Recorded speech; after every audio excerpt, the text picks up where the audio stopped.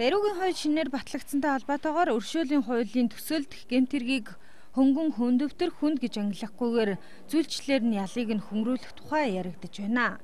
Үүнээс гадна анх удаа хорихялаар шитгүүлсэн 18 наснд хүрээгүй хүүхэдтэй эмэгтэйчүүд, жирэмсэн эмэгтэйчүүд хөлмөрийн чадвараа далбаа түүнээс дэш хуваар алдаж тахир дутуу болсон хүмүүс мөн насанд хүрээгүй байхдаа гэмт хэрэг үйлцэн зэрэг хүмүүсийг эдлээгүй үйлцэн үндсэн болон нэмэгдэл ялаас өршөөхөөр тусгажээ.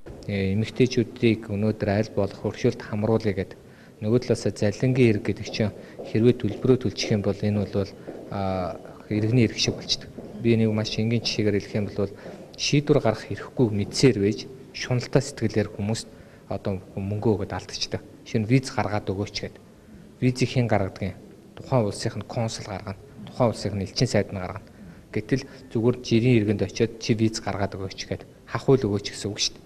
Тэгээ нөгөө хүн мэдээ цаашаа ахвал өгөөг өгөгч боломжгүй тэрийг хувьдаа завшчихангууд нь мөнгө завьснаар биш залингийн эргээр ингээд 10 жил 20 жил ялгаа авчдаг л да. Одоо над дээр чинь өргөдлийн банк оронд гэхэд өнөөдөр 61-тэй одоо эмэгтэй 57-тай эрэгтэй гэр бүлийн хоёр 15 11 жилийн ял авцсан байж байгаа. Тэгээ тэр яагаад хоёулаа 11 жилийн ял авсан бэ гэхээр солонгос виз гаргаж өгөөч гээд 17 үнээс сая 500 мянган төгрөг авсан юм бэл. Тэгээд тийм эмгүү өвгөн хоёрт одоо яагаад өгсөн тийм үстэй мэдсээр байж.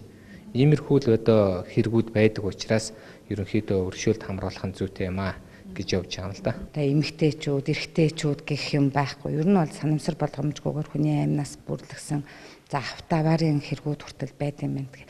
Тэгээ энэ болгон дээр бид нэр зүйлчлэл болгон дээр ажиллаж гарах магадлалтай дахиад гэмт хэрэг үйлдэх одоо тэр субъект мөн эсэгтэр хүртэл ярилцчихаж энэ хуулиас нэг нийгэм нийгэмдээ үнэхээр өршөөлөл бол хүн болгонд бас хурц өршөөл одоо үзүүлэх ёстой. Тэртээ тэргүй одоо төрийн одоо хууль цааз гэж байгаа учраас тийм үү.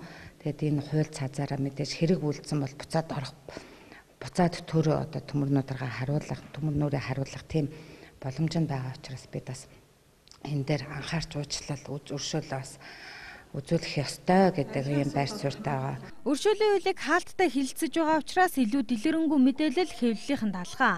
Гэхдээ хүнд гэмт хэрэг үлдэж анх удаа 3-аас дээш жилийн хорихялаар шийтгүүлсэн хоригдогчийн тухайд эдлээгүй үлдсэн ялын 50%-ийг өршөөн хасч тооцохоор хуулийн төсөл тусгажээ. За мөн авилга албан тушаалын хэргийг өршөөлт хамруулах хэсэг асуудлаар гişүүд нэгдсэн байр сууринд хүрээгүй байна. Авилга албан тушаалын асуудал гээл ингээл ярьдаг. Гэтэл өнөөдөр одоо шинэ эрүүгийн хуулиар тийм үү давтангийн асуудал